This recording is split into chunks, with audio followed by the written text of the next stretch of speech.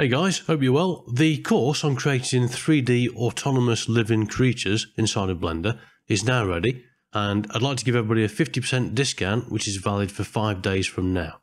You can find your discount code and link in the description below. And in the course, we're going to be creating this really interesting scene with two completely autonomous octopuses that have got a life of their own.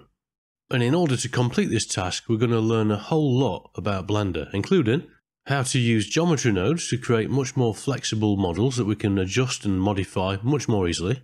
We'll learn how to use attributes to make Blender much more powerful and do things that otherwise we wouldn't be able to do.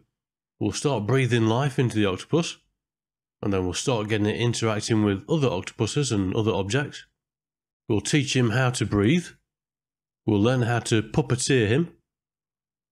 And we'll get him to follow a path indefinitely and then we'll fire him out of a cannon for good measure.